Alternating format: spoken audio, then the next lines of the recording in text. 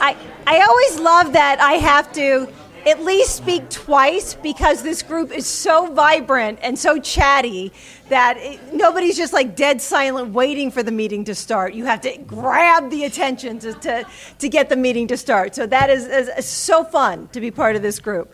So um, I'm sorry to interrupt what sounds like an incredibly lively afternoon here, um, but I do want to get us started because we have a lot to talk about and we're so excited for the presentation that I don't want us to, to miss a, a minute of that. So I will officially call the meeting to order. Uh, and I am Cindy Gwelly. I am president this year of, of Uh, and I want to welcome all of you guests that are here. We have, we have several of them here today. So thank you for, for joining us at what is our very last lunch meeting of 2023. Um, as we, I know, go into 2024 very, very quickly. Uh, we do have a recap of our October meeting. Um, and to remind you, that was uh, talking about the DC archives um, with Dr. Lopez Matthews. Um, and that is uh, summarized in our newsletter.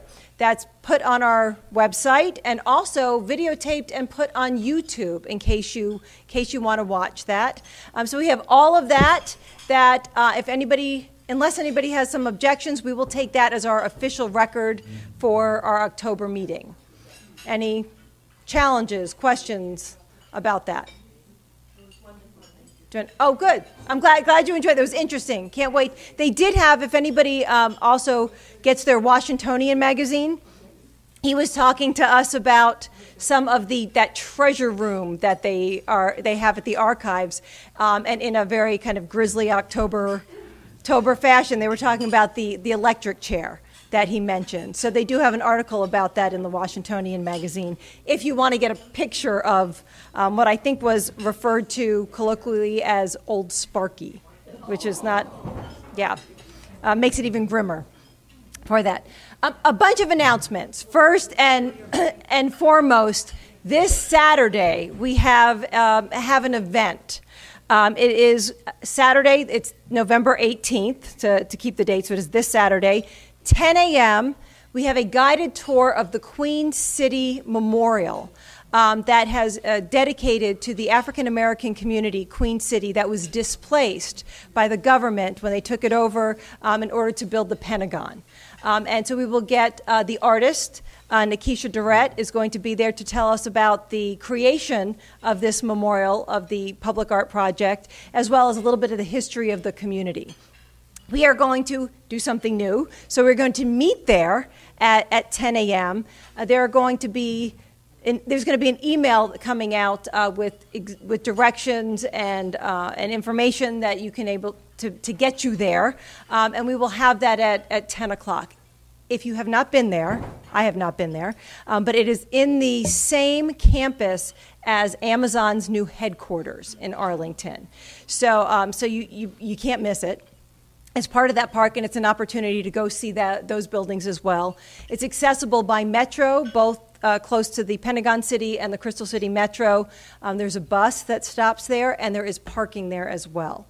So, any way that you might want to get there, it's supposed to be a nice day on Saturday, drier than, than Friday evening. Um, so, it should be a nice chance to be able to, to see something that's new, uh, and the artist herself is, is giving us giving us a tour of it. So um, look for the email. Let me let me emphasize again. It is free. It is a free event.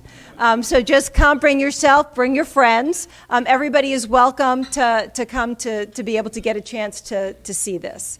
Um, so again, it is a free event, Saturday at 10 a.m.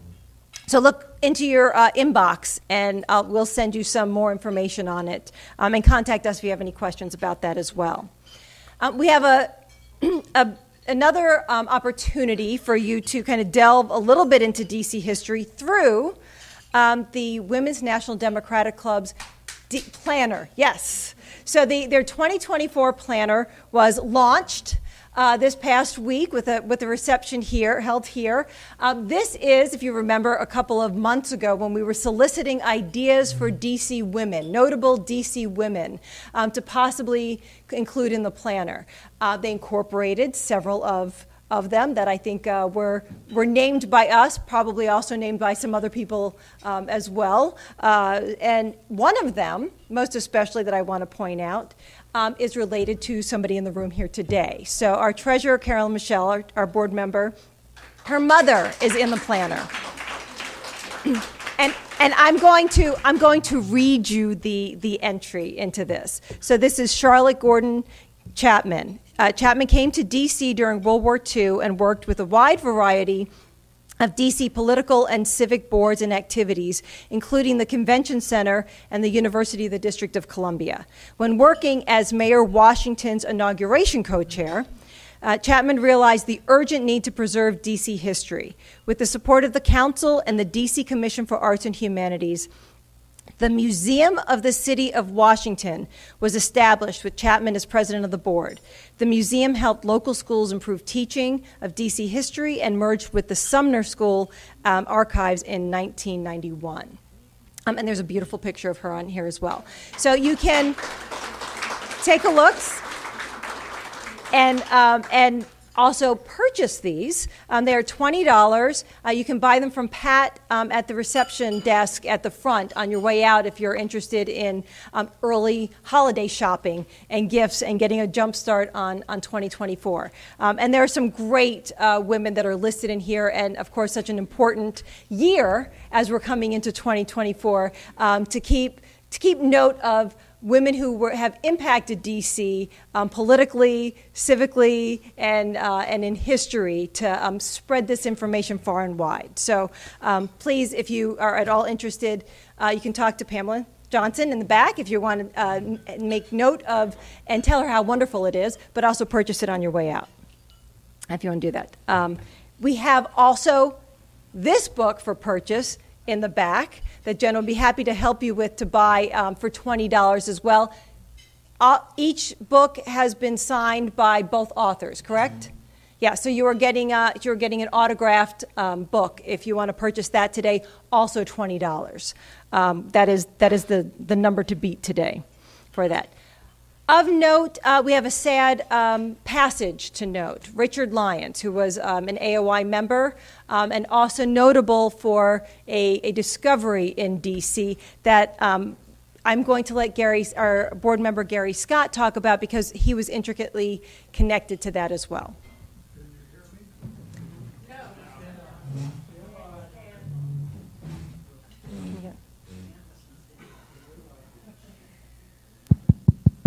There you go.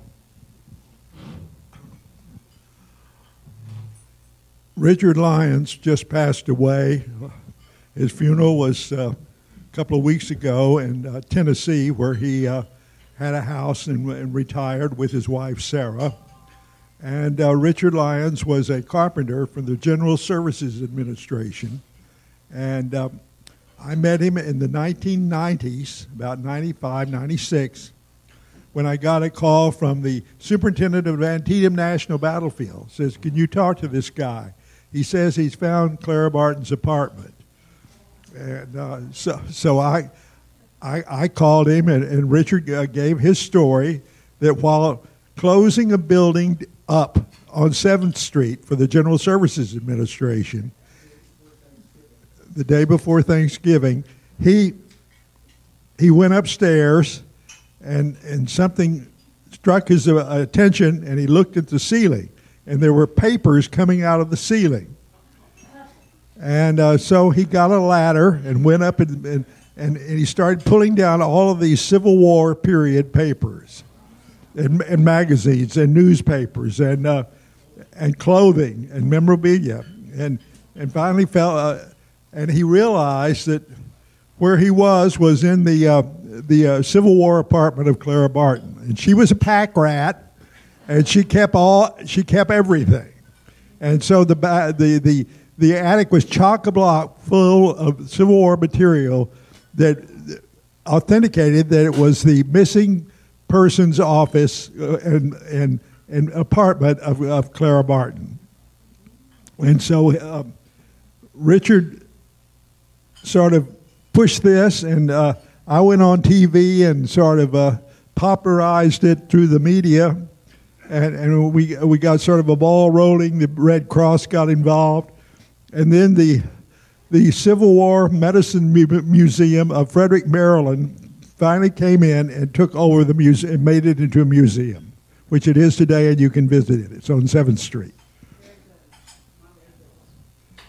So we.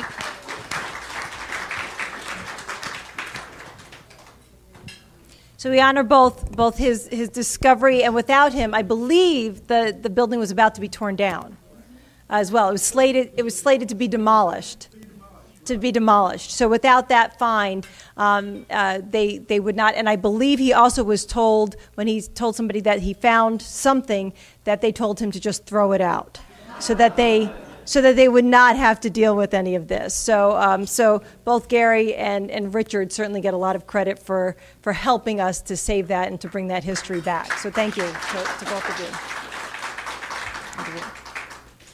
Um, we also want to thank our, our two board members who are, are leaving us uh, as their positions, not leaving AOI, but leaving their positions as board members, both Ned Rich and uh, Marcia Rock, who are not going to be uh, on the board as of uh, November of 2023. Uh, Marcia was instrumental in uh, our speaker series, and she was the program director for that for, um, for about two years. So we, we thank her for all of the, the, the mix of people that she was able to bring to us, and um, really, I think, did a fabulous job of making sure that we had a cross section of, of speakers and of topics and of interests. So um, neither are here at the moment, but I do want to thank them for, for their service on the board and hope that they'll be back for lunches very, very, very soon.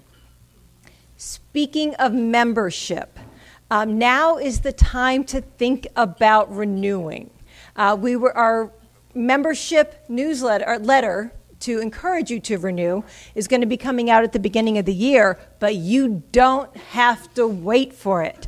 You can go online right now through the members portal and you can renew for 2024 makes it so much easier. You don't have to cut the, the little piece off the bottom of the paper, put it in an envelope, mail it in, you save a stamp, um, and you can be done, and you don't even have to think about it for the next year. So um, while it is on your mind, uh, if you are ready to renew, uh, please make use of the, the membership portal and, and get your re- membership renewal in today. Because uh, we have a lot and very good we're one of the cheapest groups uh, around to be able to to join. It's not even it's like this, the cost of the planner right that you're uh, that you're getting. So it's a great deal and we've got a lot of great things coming up for 2024 uh, we have speakers from on topics from the, the theater lab uh, they're going to be coming to talk. Uh, we have our own aoi history that we're going to be exploring with our board members um, bill brown and sherry sewell um, Civil War Washington is, is up for, for discussion. The Rainbow Project, the 1968 riots. Uh, we've got our DC Collections Roadshow that we're going to be um, co sponsoring at the Heurich House Museum. Um, other field trips, the Memories of Mimosas. So we've got a lot coming up. So, um, so we'd love to have you back, and, and please think about doing that, that early um, so you don't have to get 20 emails from us saying, are you going to you going to renew? Do you want to renew? You haven't renewed? Let's renew. Um, so you can avoid hearing from us from that. Um, uh, and let us know if you have any questions about that too. Certainly. Our next gathering as a group for, for food is going to be the New Year's brunch. Um, and we will be having that again here New Year's, New Year's Day. Um, something different this year. We are going to um, ask you if you would like to contribute and bring a bring a book. Uh, we might all have, we're just talking about all of our stacks of books. If there's one that you uh, have duplicates of or um, enjoyed so much that you would like to pass along, uh, Marcia Rock helps to fill out those little free libraries that you see in, in neighborhoods. Um, and she goes to low income neighborhoods and makes sure that, that those are fully stocked. Um, so if you would like to bring one with you on New Year's Day, um, she will collect them and she will make sure that those um, go out into the different neighborhoods um, to be used. Cookbooks, children's books are particularly popular. Um, but so are novels and history books as well. Um, she has said that people actually stop her when she's putting books in the free little libraries, including bus drivers that have pulled over to ask her for a book. So, um, so these are these are well used, um, and it's a it's a good way to um, not only distribute the books that you might have at home, but also to to give back to the community. Start the new year, start the new year well. Uh, Carolyn Michelle connected Marcia with a um, one a local children's book author, um, Gus Aver. I'm going to mispronounce his name, Avrakotos, um, who wrote a children's book called The Whale's Tale um, and he donated 25 copies um, for these free little libraries. Um, so, so we thank him, and um, we know that we can um, do even more for them. And of note, the Hotel Harrington is closing. If you did not hear that. I'm not, it has been around um, since 1914. Uh, it's closing next month, so is Harry's Bar. As part of that, there's no word yet on Ollie's Trolleys. Uh, it, that too. It's all going. It's all going. So this has been in the fam- same family apparently all these years, and I guess there's there there's no word as to what's going to happen to it, but I believe they're selling the property, right? That they're that that that we've heard. Um, it was which I didn't realize upon reading reading this that in the 19 late 1940s. Um, there was a television station that broadcast from the Hotel Harrington that ended up becoming WTTG, uh, Fox Channel 5. Um, you're saying, yeah, did, did anybody? There also was a a dance show that, um, that was broadcast from there. Um, what was it, the Milt, am I getting, the Milt Grant show, yes. Was anybody on it? You were, you were on it uh, today. so, so you remember that. Sorry, that's awesome. It's there. So, um, so it does have a, a, a, lot of history. We're sorry to, sorry to, to see that go in terms of the uh, in terms of the history. It was, um, and so we're look, look for what might happen. Changes changes changes but what might happen to that downtown that downtown location. Last last note. Here at the wndc on december 20th um, they're going to have a, a tribute to judy garland. It is the steve washington quartet um, at 6.30 uh, and it is $40 for a reception and for, for the music. Um, kind of connecting that to the holidays with Judy Garland's Have Yourself a Merry Little Christmas. Um, and there will be um, a full on tribute. So if you're interested in that, that is happening on December 20th to kind of kick off, or that's probably in the middle of your, your holiday celebrations. Um, but that'll be here. So that's a lot. Um, so today I'm going to, right now I'm going to pass it on to Nelson for our trivia trivia question, and then we will get to our, our presentation.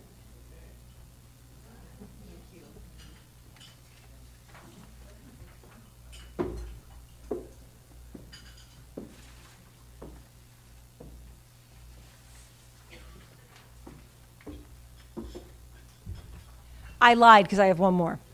Um, while, while, while, Nelson is making his way up, um, the Foggy Bottom History Project um, is now has an online section of the DC. If you go to the DC History uh, website, uh, you can go to their digital resources and you can click on a map of it's a four block area. Am I getting this right? A Four block area where you can click on any uh, block that was a house in that area and get the history of that house. Um, and so, frankly, Leone and, um, and uh, Denise Voigt, am I saying your names right? I'm sorry. Close enough? Leon? Leon. I'm, I'm making him Italian, more Italian. Frank, Frank Leon. Uh, are, have co- co-chaired the project, the Foggy, Foggy Bottom History Project, and are working on building even more information about it. But it's, it's full of information, and you can find it both at the foggybottomhistoryproject.com, org, foggybottomassociation.org, or the DC History website. Nelson.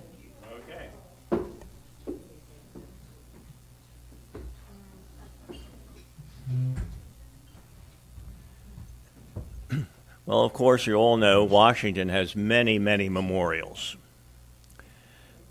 but there was a president, uh, I want you to name the president, who left very strict instructions that if a memorial was ever to be built in Washington, it would have to be simple. It would consist of a block of granite or limestone from Vermont or New Hampshire, about the size of his desk. And on this block it would say his name and in memory of and nothing else. What president were we talking about? Oh, we got a lot. Of, I thought this would be easy. Who, who was the first over here? Me. Okay.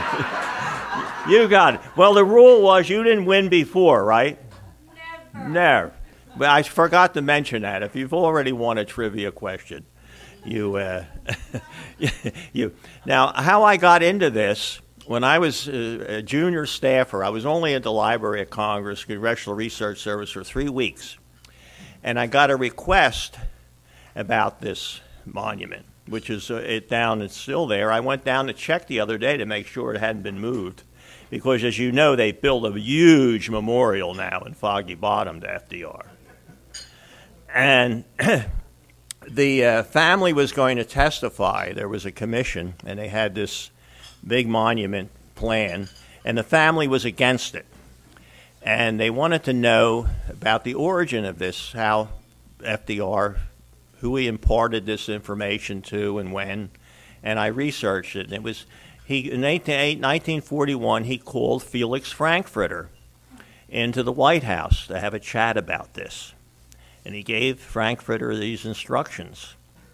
Well, for two for 20 years it wasn't carried out because there was this Congress in the meantime that created this commission to come up with a monument and they came up with several designs, all of which were opposed by the members of the Roosevelt family. So Frankfurter and his colleagues got together and said, "Well, it's time. We'll do this," and they did. They created the monument and got it put in place in 1965. And uh, but the commission went on and on, and finally we've gotten this huge thing. I haven't been down to see it yet. Has anybody been down to see the, to see the new the new? Uh, isn't it?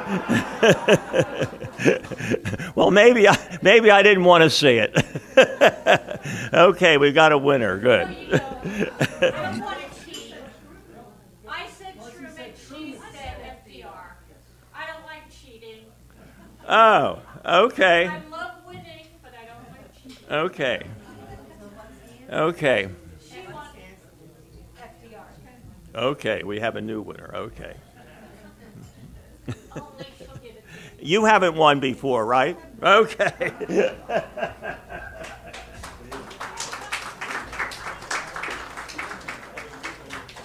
there you go. Thank you. I, have to admit that I the the F, the new FDR is one of my favorites over there. I love to watch people go and pet Fala's head, and you see how shiny it becomes. It's all brass and shiny. I love to watch that. And they all stand in line to take pictures on the bread line, which is a little little morbid, but um, but but still, it's great to see the people using that. Now, we I'm very excited to get to our presentation today. So I want to introduce, um, introduce our speakers um, and, and um, uh, get, get to our program. So we have, we have two speakers today. Uh, first, we have, we have James Fisher, who is a retired federal, federal employee of the Smithsonian Institution, as well as an Army veteran. He is also a seventh generation direct descendant of Captain George Pointer. Uh, and George Pointer, uh, his lifespan was 1773 to about 1830, 32. So if you, if you don't know him, there, there, there's a reason. Uh, it was a while ago. And he has been um, working with his colleague, Tanya Gaskins Hardy, as well as historians and local government officials to tell the story of Captain Pointer and his descendants who were evicted from their land on Broad Branch Road Northwest in Chevy Chase, D.C. in 1928 due to racism. James is also a member of the board of the historic Chevy Chase, D.C. Um, Tim Hannapel grew, grew up in Chevy Chase, D.C., and attended D.C. public schools, Lafayette, Deal, and Wilson, now Jackson Reed. Um, he recently retired as, uh, from a career as a lawyer for the National Treasury Employees Union, uh, where he represented federal workers in 35 federal agencies, including the National Park Service. He has a longtime interest in D.C. history and is a board member at historic Chevy Chase, D.C., helping tell the story of the black residents of Broad Branch Road who had their homes seized under eminent domain in the late 1920s to build the, the, the um, then all white Lafayette Elementary School. Tim was instrumental in the campaign to rename Lafayette Pointer Park and Rec Center in 2021. He also helped lead the four year campaign to rename Woodrow Wilson High School to Jackson Reed High School. Um, so we welcome, welcome both today. I think we turn it over to Tim.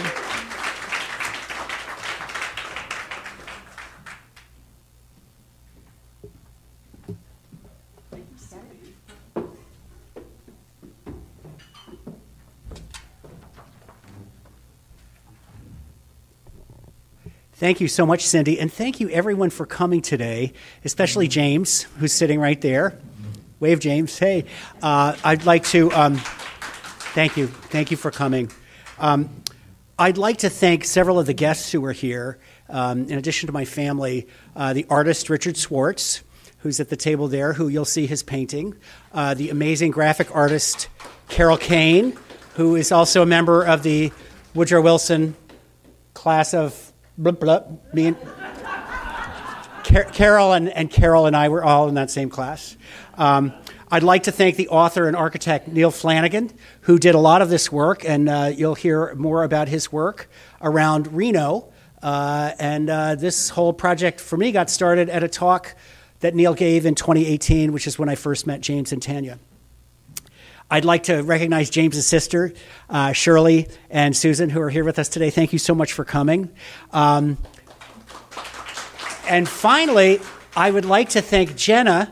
Hey, Jenna, way in the back from the Georgetown University Press, uh, who is here to sell books. Uh, an amazing bargain. I think I paid 30 for mine. They're down to 20 now, so that's a bargain.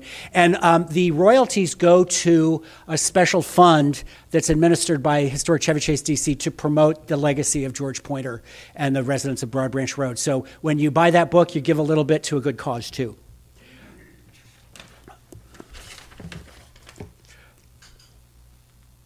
I'd like to first uh, bring greetings from our two dear friends, uh, Tiggy Green and, um, and Barbara Torrey, um, who are the authors. They are dear friends and neighbors from the Brookmont, Maryland neighborhood that sits just above Lock House 5 and 6 on the C&O Canal. When they were researching and writing about Brookmont together, they discovered George Pointer's 1829 letter in the archives, 11 pages that I'll tell you more about. And they realized it was pure historical gold. That was in 2009, and they've been researching and writing about Captain George Pointer and his descendants for the last 14 years. Um, we owe them a huge debt. Here they are, uh, just last month at the Great Falls, Virginia National Park Service 250th birthday celebration hosted by Superintendent Charles Cuvelier and Supervisory Ranger Fernice Sewell, who is here with us today. Fernice, I meant to, I meant to thank you at the top but uh, Fernice will see some pictures of that reconciliation effort. Um, I just want to. The, the, the, structure of my talk today is I'm going to do the nuts and bolts of the history, and then I'm going to invite James up. Uh, I do the nuts and bolts, and James is the heart and soul. Um, so uh, I'll invite James up. We'll have a few questions, and then we'll open it up for Q and A. But let me take you through first of all um, Who's good at math? Well, I already told you, 250 years, right? Is, this, is that the, Fernice will know, semi sesquicentennial? Semi, semi quintennial. Thank you, Neil. Um, so we're going to take you through the history, and I'm going to dwell a little bit on that. And then I have all these reconciliation efforts, because that's the uh, ambitious title of my talk How an Untold Story Became a Movement for Reconciliation. I think we can see it really has become a movement. So I'm going to talk about what happened at Lafayette Pointer Park, what happened at Great Falls that Fernice worked on. Uh, we're going to talk about the UDC Oral History Project, the Black Broad Branch Project, and we're going to f- finish up with uh, my organization, Historic Chevy Chase DC. We have an online online museum, and we have events, and it's a lot of cool stuff. A lot of the sourcing for this is come from a companion website uh, called betweenfreedomandequality.org. It's for teachers, it's for students, it's organized by chapter. It's really great and a lot of downloadable material. And in a minute, I'm going to tell you about how it's, it's going on its way into the social studies uh, curriculum of DCPS, which is great, which is really great. Um, the story is, it, it's funny to call it an untold story because now it's being told quite a bit more. So I think any story where you're going to talk about 250 years of history, a little ambitious, but I always like to start with a good map. Um, so this is an amazing map from the book, downloaded from the website, Territory of Columbia, 1794. That is a map, right? Now, there's not a lot of detail on this map. We can see L'Enfant's plan. See the little squigglies? Hey, I'm going to try out. Uh, Wow, look at that. There's L'Enfant's plan. Okay. Now, L'Enfant's plan was only published, I think, two years before in 1792. Not by L'Enfant, but by Andrew Ellicott, but I digress. But even in the two years since that, that, that DC was established, we can already see two amazing events in the life of George Pointer. George Pointer was born enslaved in 1773, right near that little it says PM House, Presbyterian Meeting House, and it's very close mm-hmm. to Cabin John. That, I believe, is River Road right there. Uh, and it, it connects to Wisconsin Avenue, which I think back in the day was called the Rolling Road, because they would roll the casks up and down the road to the port of Georgetown. So, but you can already see it's uh, born in 1773. Now George Pointer is 21, and you see this little word down here? It says canal. Canal. That's the Little Falls Canal that was part of the Potomac Canal. Okay. That George Pointer worked on. He's only, only 21. He's already worked for the Potomac Canal since he was 13. Okay. We'll get to that history in a minute, but that's an amazing map. Okay, now we're going to have another amazing map because, of course, when you talk about the descendants, you have to talk about his granddaughter, Mary Ann Plummer Harris, who settled in Chevy Chase. Chevy Chase, D.C. That's how the story gets from the river up to Chevy Chase, D.C. And that is Mary, uh, Mary Ann Plummer Harris. It says Harris right there in 1894. And we can see already what's happening. There's the street grid of Chevy Chase, Maryland. And you can see Chevy Chase Land Company. Uh, Chevy Chase Land Company. And there is the Harris Farm right along Broad Branch Road. So that's 1894. So that's map number two. Here's map number three. Uh oh, look what's happening. It's 1925. Folks, uh, here's the street grid for Chevy Chase, D.C. And here in purple is the black owned community uh, that became the target for the white citizens of Chevy Chase, D.C. We want to build a school. And we want to get rid of the black folks at the same time. And I'm not just saying that because I'm going to show you some in print. And there it is 6.2 acres. If you've ever been up to Lafayette Elementary School and Lafayette Pointer Park, it's beautiful. It's 12 and a half acres. And that is one of the largest footprints of any elementary school in DC. Why is it so big? Because they had to build a school and they had to build a park to get rid of the black folks. And anyway, um, but that's, that's from 1925, and that's three years before the homes were lost to eminent domain. All right, so those are the maps. Let's back up a little bit. Who was George Pointer. And uh, thanks to the efforts at uh, Great Falls, uh, we now have this exhibit, this lovely exhibit. Ooh, I got to catch up. I got to catch up. So let's go back to talk about Captain George Pointer. We know a lot about him from his 11 page letter uh, there's an excerpt of it right there. Uh, his petition dated September 5th, 1829, uh, to the board of directors of the C&O Canal, in which he recounts his own history, being born enslaved in 1773 on a plantation near Cabin John, his purchase of his own freedom at the age of 19, and his 40 plus years of employment. 40, 43, I think exactly, including as supervising engineer uh, of George Washington's Potomac Company supervising engineer. He was appointed in 1816 because this man knew the canal and the river like the back of his hand. Okay?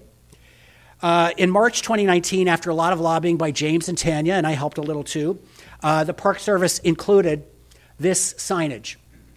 Uh, previously, there had been, um, if you ever go to the Great Falls Visitor Center, did you ever do a diorama when you were in, in elementary school? And they have a diorama there, and it's pretty cool. It's these four big wax figures, right?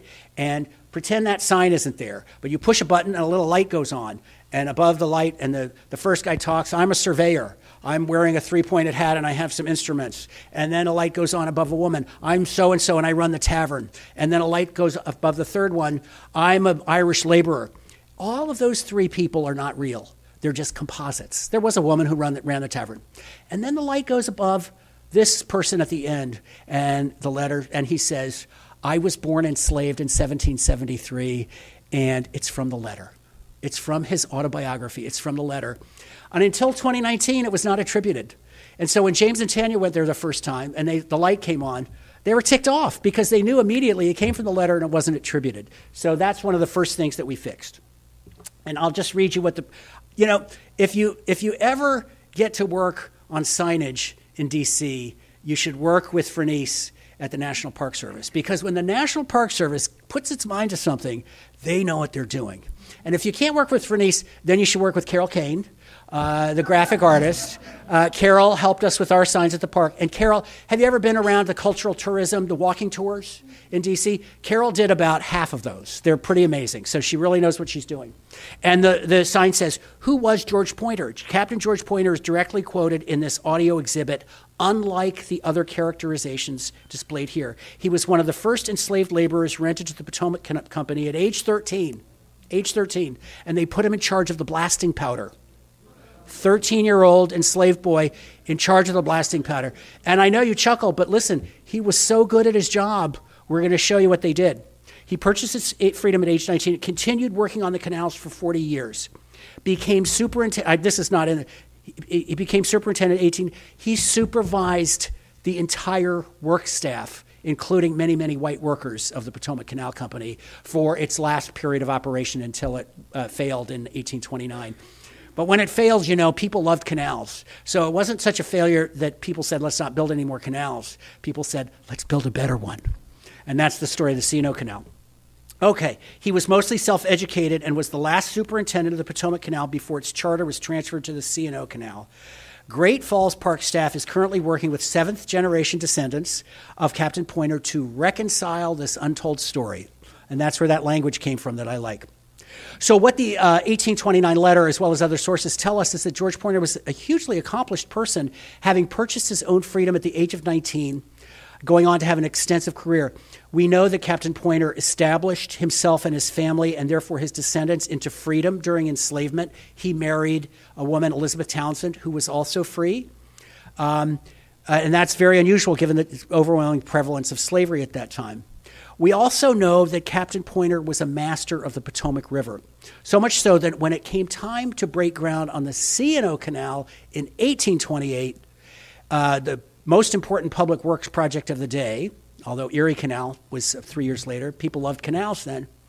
Captain Pointer played a big role in the groundbreaking. In fact, it was Captain Pointer who piloted the boat that carried President John Quincy Adams and his entourage to break ground on the canal on July 4th, 1828. Now, there was apparently a very intrepid eight year old girl who helped with the piloting, and I'm going to tell about that next. So that's Captain Pointer. Oh, if you go out to the Great Falls, you'll see this painting. Look at that. I mean, look at the, look at the Great Falls. Whose idea was it to build a canal around that? But they did. And so you can see here is the holding basin. This is what was called Matildaville. Here's the wing dam, and here are the locks, locks, locks. Look at this one. It's 25 feet tall. Stupendous. I mean, just incredible. Okay, um, so George Pointer built the canal on the Great Falls side, but first he built the canal on, on the, the Maryland side. And that is, that's the canal right there. This is the C&O Canal. Okay, this is just from Google Maps. And that little red point is the powder magazine that he was put in charge of and built for him, and they built his cottage there too. So his cottage is right here, and the Powder Magazine, and here's Lock House 6. And this is Barbara and James and Tanya in about 2018. So go out there. It's easy to find. All right. Now we're going to fast forward 100 years. You ready to go from 1828 to 1928? But this picture, this photograph from the Washington Post covers 100 years of history, so I like to, I like to include that.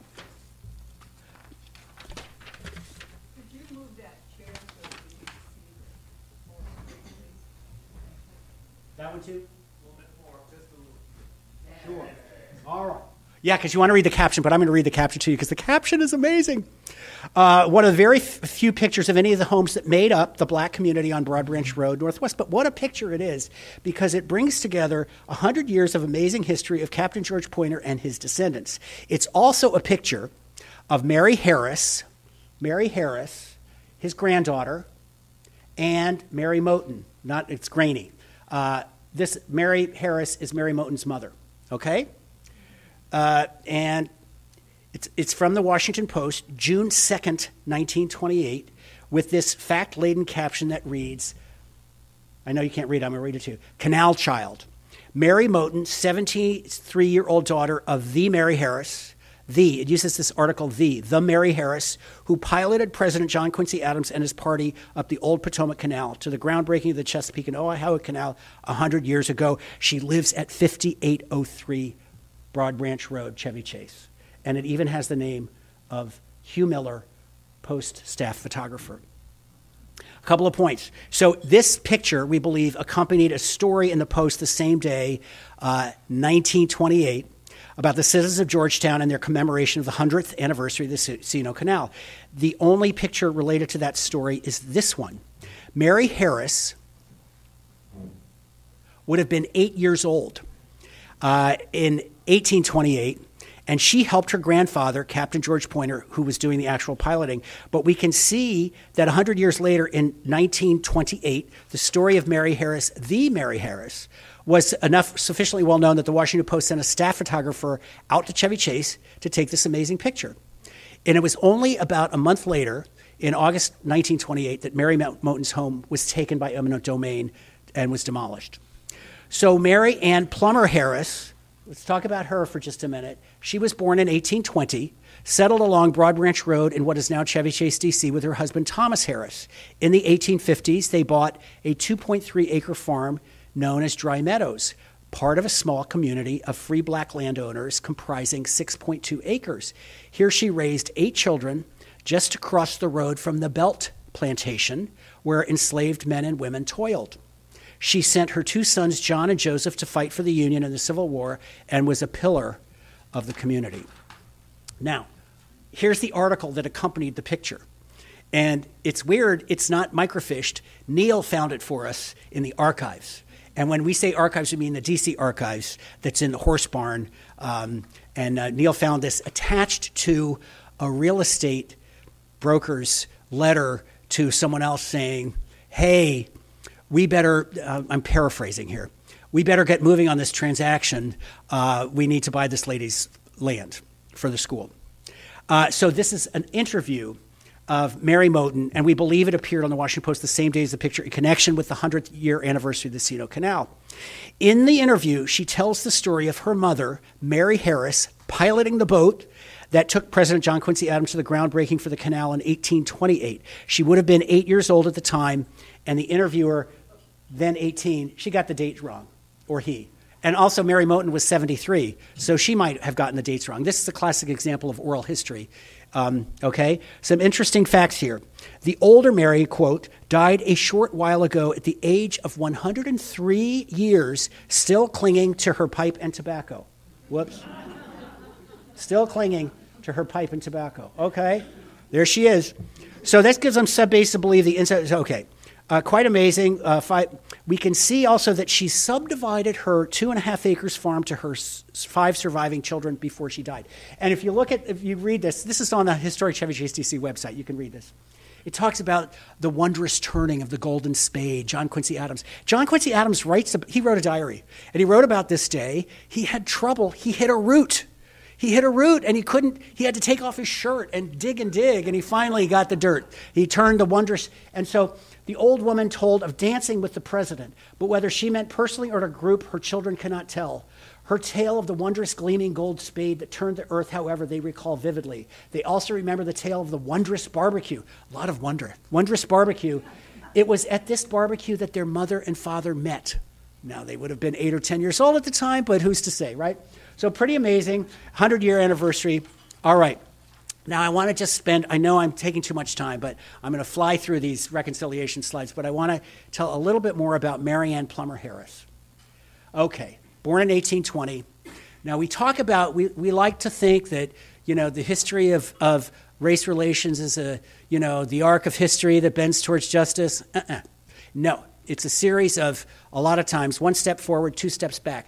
George Pointer bought his own freedom at the age of 19 for $300. He never carried he didn't have a certificate of freedom. He didn't need it. He lived in a small town in a village. Everyone knew who George Pointer was. His children didn't need it. His granddaughter needed it because remember what happened in 1831, the Nat Turner Rebellion. Nat Turner, the Bible, he rebelled, white people got killed, and then all of a sudden it's time, uh oh, we need to know who's who. I mean, it's not, it's not saying that George Pointer lived in a paradise. He couldn't own a dog. He could not pick blueberries without a license. I mean, some crazy laws that restricted black folks. So, this is the Certificate of Freedom, November of 1838. Mary Ann Plummer Harris was 18 years old. She had just met, married Mr. Harris, Thomas Harris, and she was about to have a child.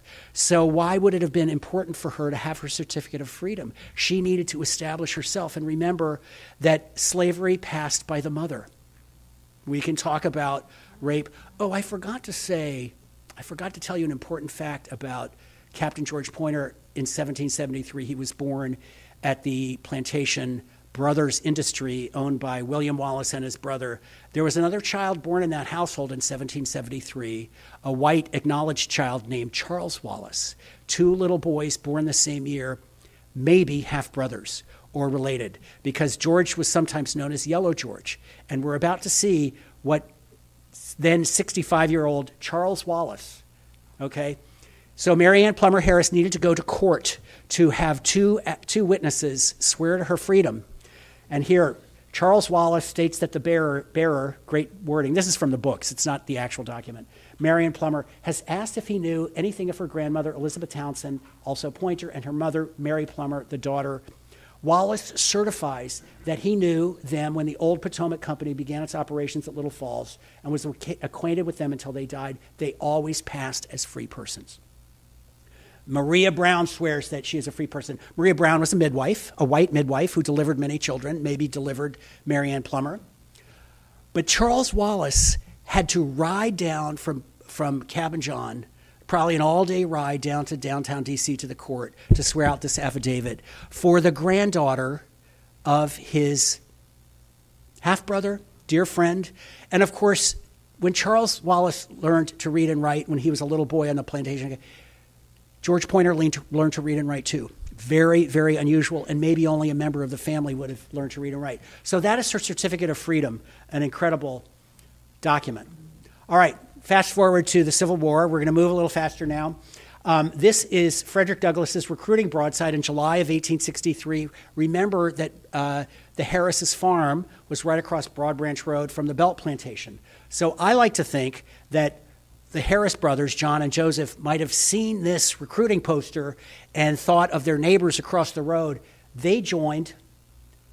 These are their muster documents. This is, um, this is John Harris's Certificate of Freedom from 1860, and here are the military records of Joseph Harris and John Harris. They joined the first, I know there's some Civil War buffs in the room. I know there are.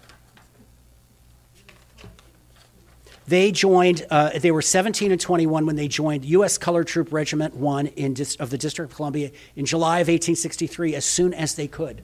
As soon as they could. Uh, they trained on uh, Mason Island. Here's a picture of uh, U.S. Regiment of Colored Troops, Mason Island, taken by Mathew Brady.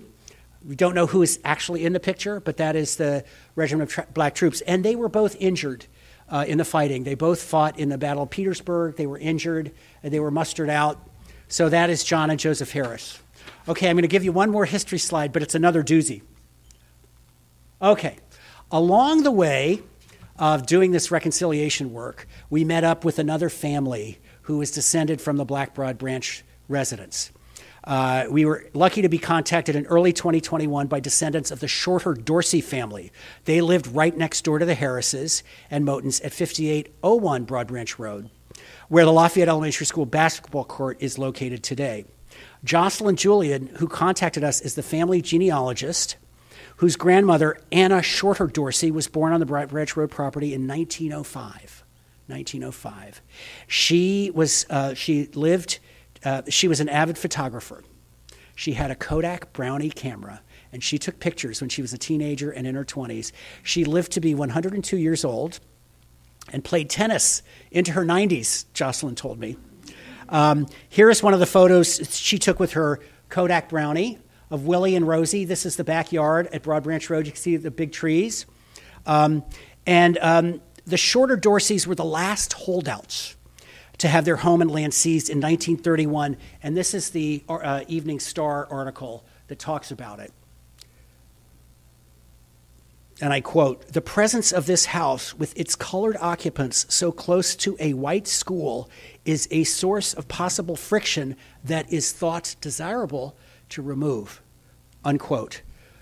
Listen to that language a source of friction, all in the past. It is thought desirable. So think, think about that, right? That was Assistant Engineer Commissioner H.L. Robb. Avoiding friction was a rationale that was commonly used to justify Jim Crow segregation. And as an example of that, Woodrow Wilson segregation of the federal workforce in 1913, he told black activists, civil rights activists in the Oval Office that segregation was, quote, not a humiliation, but a benefit.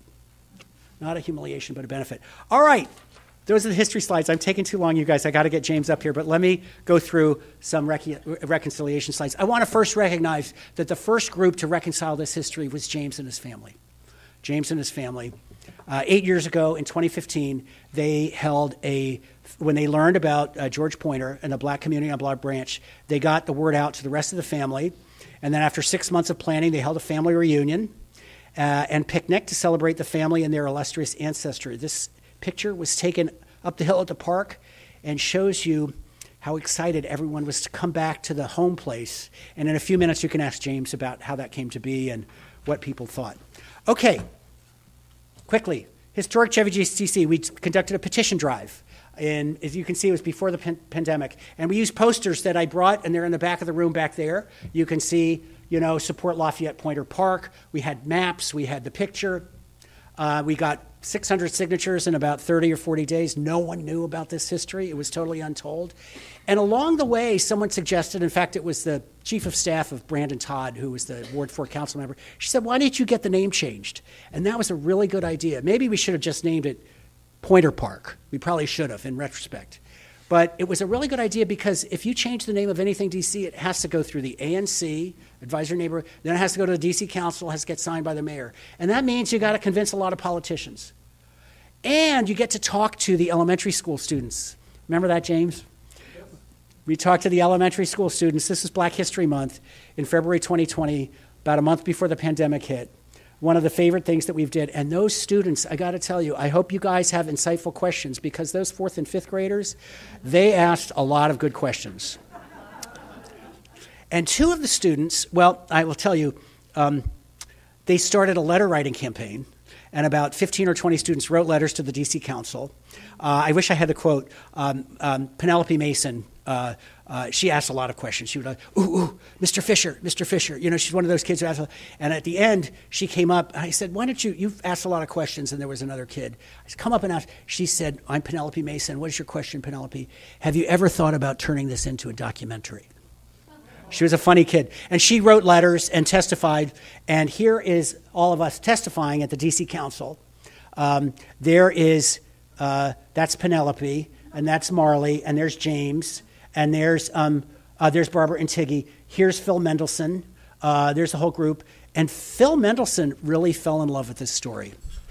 Okay, so fast forward to 2021. We had a grand opening at the park. Was a great day, June 12th, 2021. These are the pointers from Annapolis, Maryland. They came down. There were about two or 300 people there. It was a great day.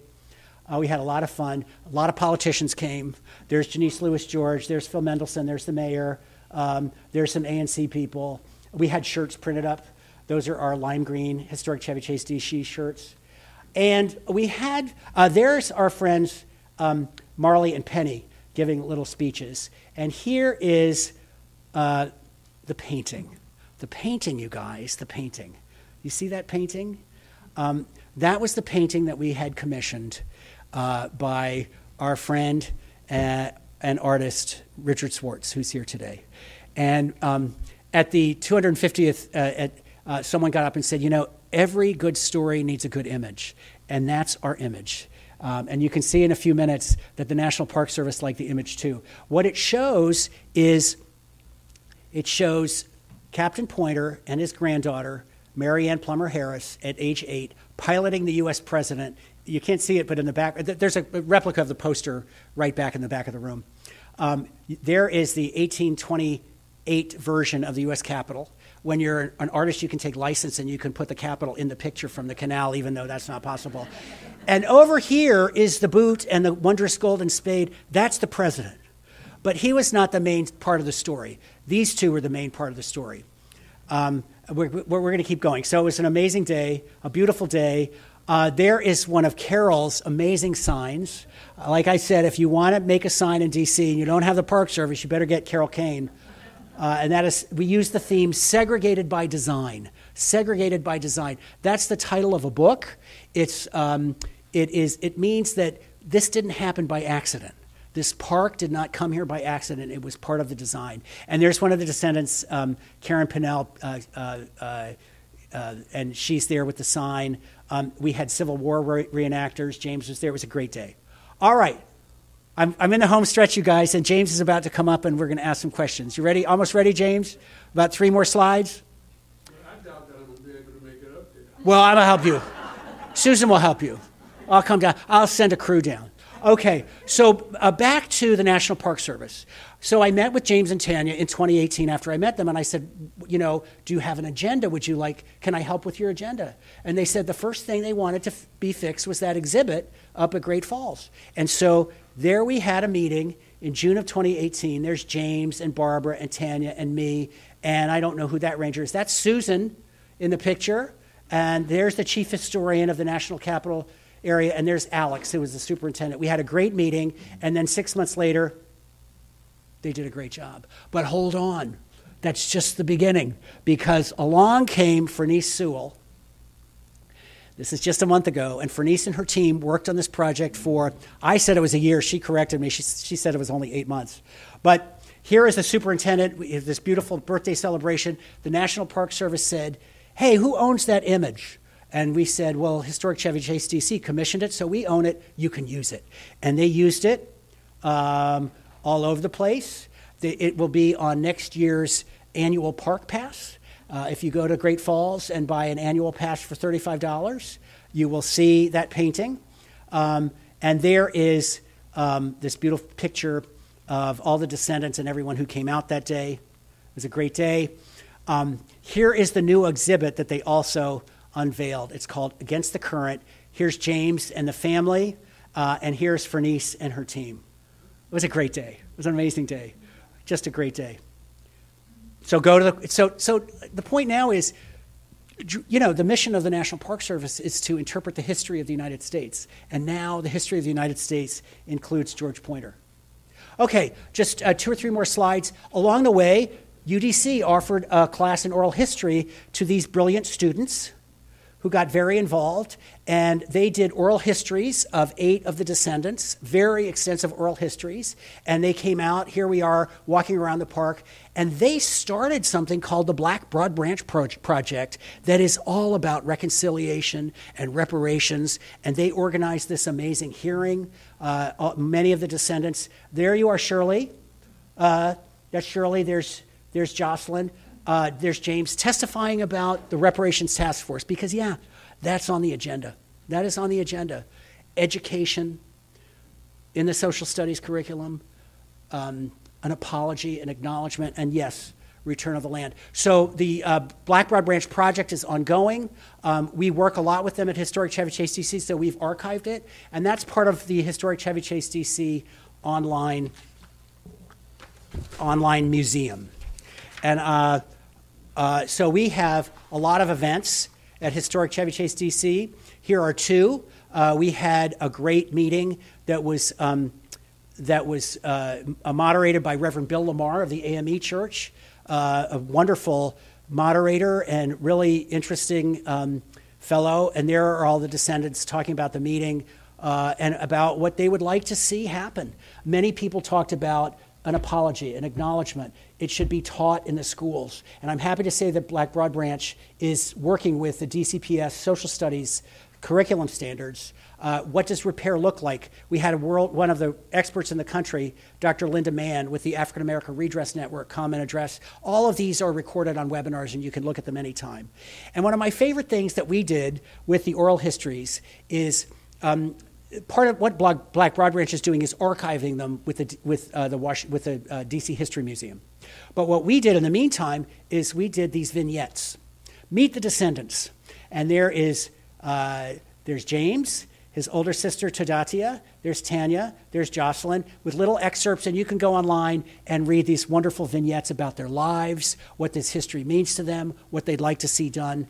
And wait a minute, I didn't leave you off. Shirley and Susan, there's Shirley and Susan too. All right, that's my talk. I'm sorry I went on for so long.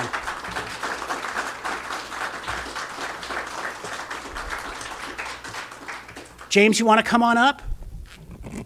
Come on up and let's have a little chat. I'm going to ask James four or five questions, and then we'll open it up. Just come on over this way. I think we both need a, a microphone. That one works. Pull the chair closer.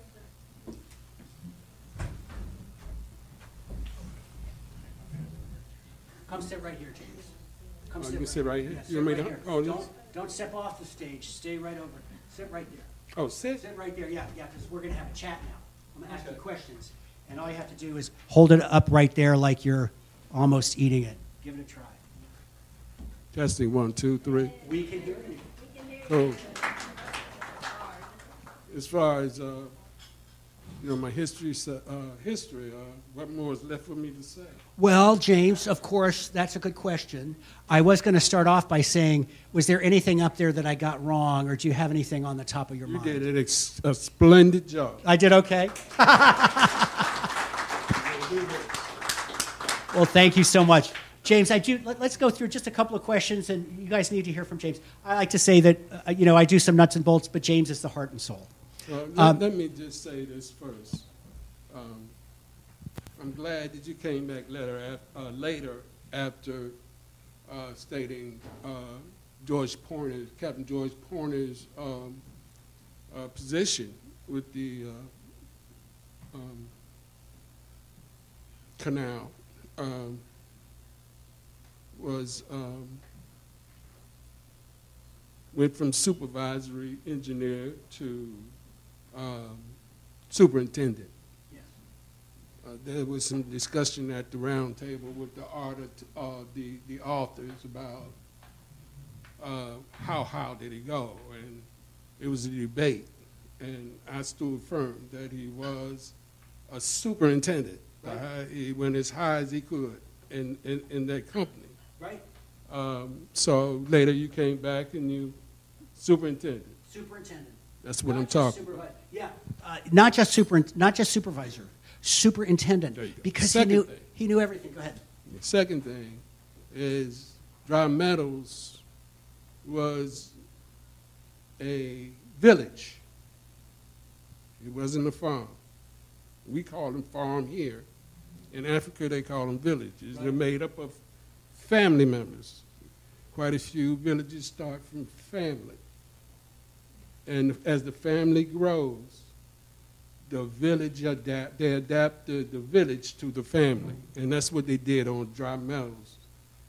Uh, once they uh, divided, once the sons got older, they divided the land up, built a house on it for her sons, and so on. So I would just like to add that. I think that's really important to add, James. Um, you've called it a home place too. Uh, it was a home place in a village, and of course, when that's lost, there's a real damage. But let's start. Uh, you did not know about this history growing up, is that right? Not at all. When did you find out about Captain Pointer and Dry Meadows? Um, uh, uh, Tanya, I, I was visiting Tanya, my, uh, Tanya, my good friend, and I just mentioned as she was uh, uh, working on Ancestry.com uh, for another, for some other people and mapping their family tree. I mentioned to her over, over my lifetime, uh, I uh, had wanted to uh, explore my family tree. And um, I didn't get the last word out, and she was at the table interviewing me. Uh, so um, uh, there it began, and after after maybe a week or two, because she works fast, um, we had mapped maybe three generations, two and a half, three generations, and uh, maybe a week and a half later, uh, we received the email from Tiggy and Barbara. Hey, you know you have a family, or you have a famous uh, ancestral grandfather. So I had to read that three times. Um, so we got in touch, um, and we shared information. Uh, what Tanya and I had uh, gathered, and um, we started to compare notes and, and jointly do research. Um, of course, Tanya and I on one end verifying what they uh, they, they they found or uh, giving our opinion on what may be a gray area in the research. Um, so that was fun. Um, and I really appreciate them, of course, uh, for, for laying uh, uh, the discovery and to submitting uh, our, you know, legacy in the book form um, and having us participate. Uh, and um, so uh, that's very special. Um, Did they take you to uh, the park for the first time? Uh, yes, they also took us to um, visit the uh, The cottage? likeness. Yeah, oh, the, oh, yes, at, the, at Great Falls Park. Exactly. Um, um, it just took my breath away. Uh, my um, family tree journey is uh, is a bittersweet one because um, it was ours. Uh, it was the glue that held the family together. It was a place where um, family returned to heal, to bond. Um, it was uh, the place where generations of the kids would um, learn and grow and uh, be inspired and supported. So it was everything to us. Um, and from the very beginning, um, one, I had two questions. I wanted to know what fractured our family. Uh, I wanted to know, you know, uh, if there was anything inspiring about our family, um, our ancestors, and also what fractured the family. And during my journey, I learned that at that point, at the point when, when we, when the land was taken, when our village was destroyed, um, that's the point of family destruction. We were scattered all around D.C. Uh, so um, that was trauma that we never recovered from. Let me ask you this, James. You know, when you speak about your two questions, was there anyone inspiring in your family tree? And the question of, of what was the, the cause of the fracture. If, if you had known this as a kid growing up, do you think it would have made a difference in your life? Well, one, um, it could have. Right. How so, do you think? um, greatly. My family is women driven.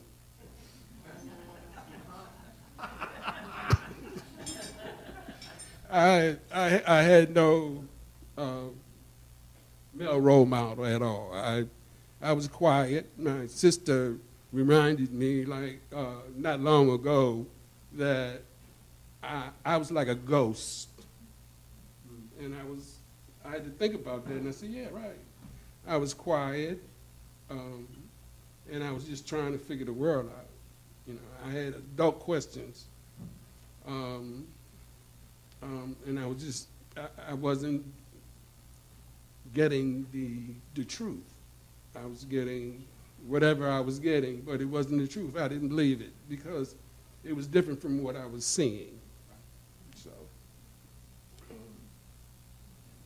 Let me ask you this: in all of the, um, you know, these efforts, you, starting with your, you know, but you, you and Tanya working on the family reunion in 2015, all these other efforts. Is there anything that stands out to you that you know was particularly meaningful, impactful, that you liked, that you didn't like? Well, Let me go back because I Sure, didn't yeah. really- I, I didn't really answer. If, if had I known George George Point existed and he was an ancestral grandfather when I was young, it, it, it may have impacted me greatly mm-hmm. in a positive way. I've heard others. I'm sorry. You raise your hand. wait till you finish. Okay, that finished me. Hold on one, one second. Before, hold, uh, uh, I know there's some good questions coming. Let me just ask one or two more things because I think James, James is, you know, we're getting to the heart and soul now, and I don't want to cut you off. But uh, I'm just let's go to the redress part, James, because you know, in the oral histories and the, the events we've hosted this year, especially the, the webinar with Reverend Lamar, right? Um, a lot of discussion about reparations, what forms of redress. Your family and others have talked about apology, acknowledgement from the DC government, education, making sure that uh, students uh, learn about this history, um, and of course, restoration of the land, compensation. What would you like to see happen? Well, given that our family didn't get, didn't receive 40 acres and a mule, I really meant what I said. We want the land back. You can hold the apology because an apology is just like someone taking your food and apologizing for, for it while you had still had that empty stomach. That's the truth. That's the truth. Well said. Well said. So um, it made no sense to me if someone says apologize to a child still, you know, and the child don't mean it, then they apologize. Right. You know, Right, right, their right. mother or their father, their parents want them to. Right. It is a lesson in it, but um, I like for, uh, secondly, and most, most importantly, I like for um, the, the real, true, fair uh, African American uh, history taught to, especially, you know, to, to kids in school. Um, before they get busy, before they get of an age where their interest is more important than most other things uh, outside of education. So, um, you know, it was heartfelt when, you know, Tim and I, you know, talked at, you know, the elementary school uh, uh, kids and to see their enthusiasm, their interest, and their passion, and, you know, they're going to come up with these questions that some may not want them, you know, uh, want, want, want them um, to ask. Uh, but, you know, you, you teach your kids very early from the start what's right and wrong. And if they know our history, they're going to look at you and say, that's wrong. and then you want to say, well, hmm, what to do? Right? So, um, but there's there's an answers. There are answers. You know, you, you there's answers. So, but then, you know, you just have to deal with it. But you know, we know, but it's just a whole lot of denial right in front of our face. It's easier to just deny. So, um, those are the two important items that should be addressed because I think, um, for my, my family, you know, it'll be helpful. And for the future generations of, you know, this diverse country, uh, with the children coming up, they'll be better suited to deal with the diversity. But the truth and, and, and, and giving the truth early on. Thank you. Thank you, thank you. Thank you. I think we have time for a few questions. Are we okay on time, uh, Cindy? Okay, we have a few minutes for questions. Yes, ma'am. Uh, does anyone want to take the microphone around? I'll, I'll give up mine. Or can you, can you, you allow I speak loudly. Very good, very good. Marcy, stand up. What's your question? My question is, uh, actually, how was the amount determined as reparations for what was done to your family? Actually, the stolen land that was done by the government, how can you really get that back? And how much was it? Well, we can ask for that. That's Sorry? We can just ask for that. Yeah, but you, how much did you know to ask for? Maybe that's my question. It was taken, the land was taken, and What is it assessed for now? Is there any assessment? And, and you want it back. Uh, so it, Marcy's asking about money, but James, you're talking about getting the land back, right? Yes, we want Not, you don't want the money, you want the land back, right? And then if, yes, exactly, you want the land back. Now, if someone wants to rent the land back from us, that's when we negotiate. Well said. Well said. Uh, the sh- by the way, that's a great question, Marcy. And one of the fifth graders, one of the fifth graders said, "Very, Mr. Fisher, how much did you get, and was it enough?" The answer to that question is uh, Mary Moten got about sixty-six hundred dollars, but of course it wasn't enough, and it was in 1928. And there, of course, are examples now uh, on the website. Dr. Mann talks about. Maybe you've heard of Bruce's Beach uh, in in um, in in uh, in California, where where the um, the land actually was given back to the family, and then the family sold it. They decided they, they sold it, so they sold it for millions of dollars. Uh, for asking that question. it's a great question. It was a great question, and the fifth graders asked. But you know, fifth graders ask good questions. Yes, ma'am. I'm Patricia Clark. Uh, In the process, you said you didn't know about this until someone presented it to you later in life. Exactly. We were, we, uh, uh, I had just started, you know, um, tracing my family tree. And we were going backwards. The office, Tick and Barbara, was- was coming from, uh, you know, uh, from the past to the present. And we met. So in that process, did you find either relatives that you did know or didn't know who could give you some oral history that you wouldn't have known enough to ask about until this? Actually, no. I didn't find, um, you know, uh, anyone to help along with this process based on what they knew about history, no. Um, what I find in a whole, whole lot of, you know, circles is that, um, it was very early practice not to even look back, not to, you know, uh, uh, to look forward. They, they, they knew what, they knew what they wanted, where they wanted to go, and just forward thinking. Um, many of them had a plan. Many of them already knew who they were gonna marry. Um, so once they became free, um, it didn't take them long, uh, maybe a year. And then the next year, just like George Foreman, he, he, um, uh, you know, he knew who they wanted to marry. Uh, he married. A year later, they had their first child. Anyone? Carol.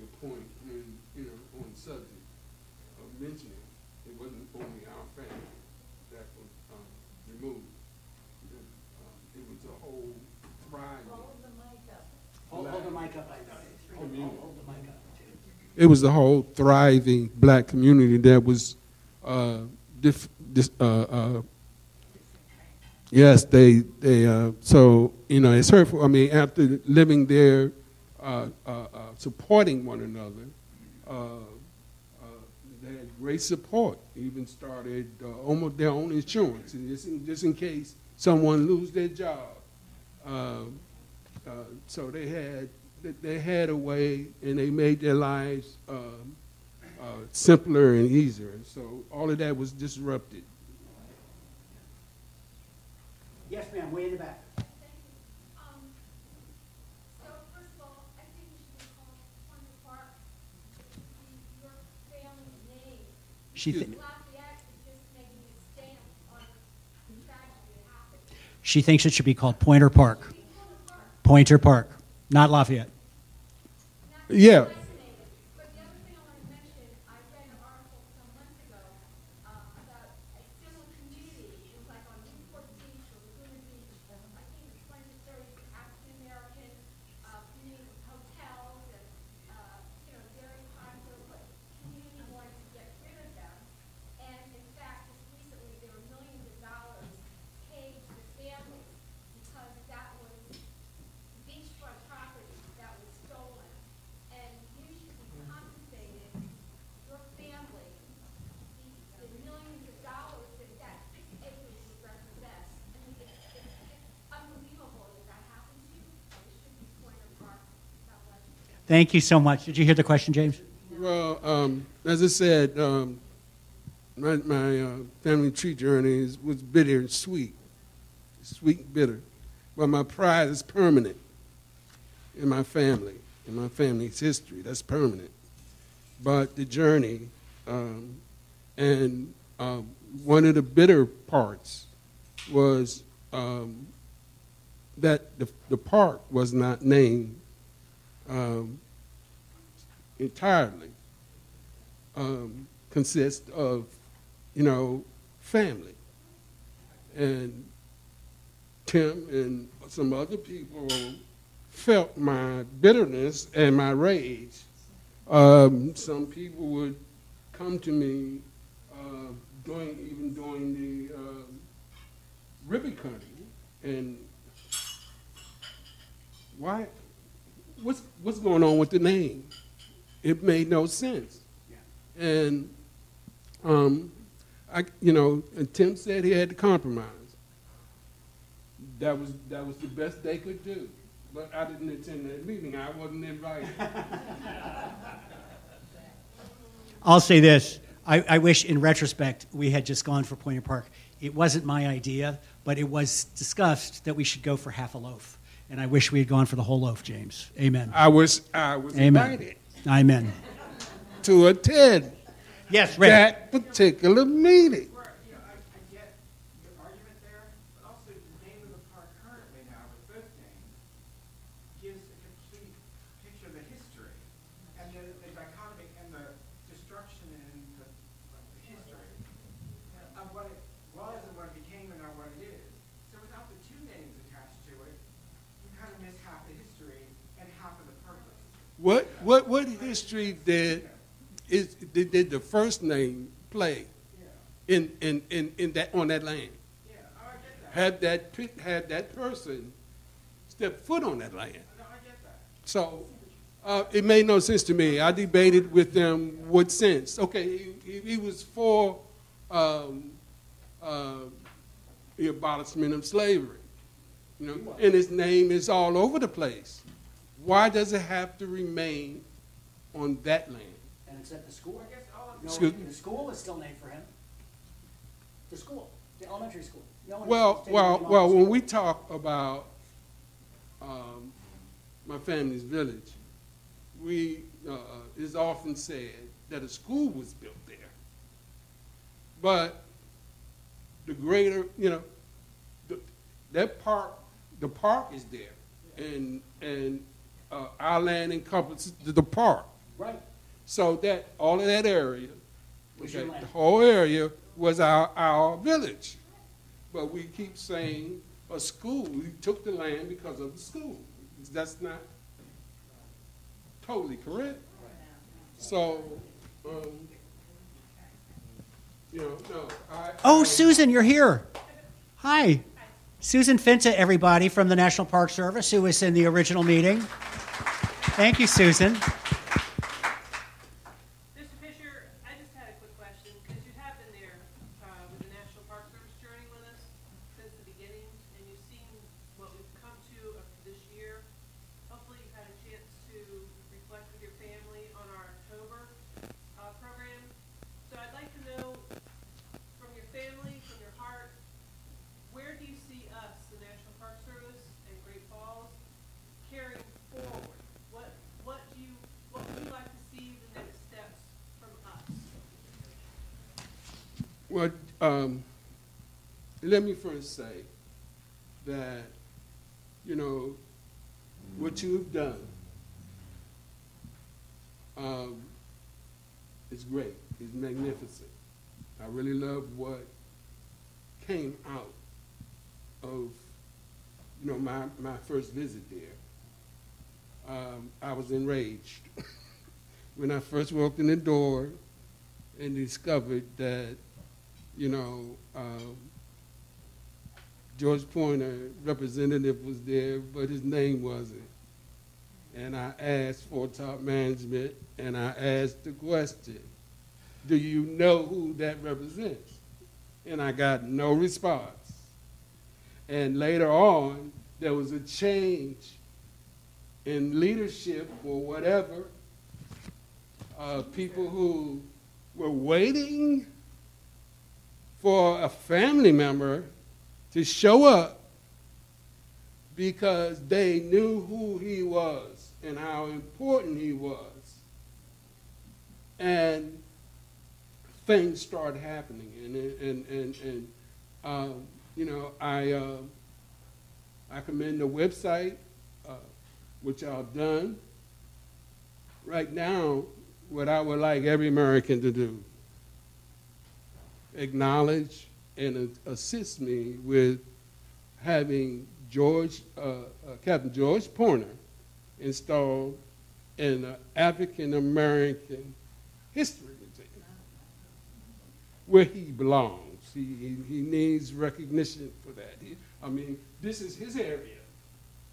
And I've noticed over some years that, um, uh, you know, really, some lesser people are up in there.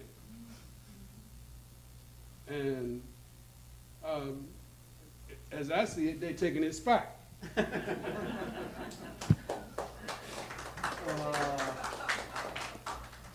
I guess we better stop there. Thank you, everybody, so much.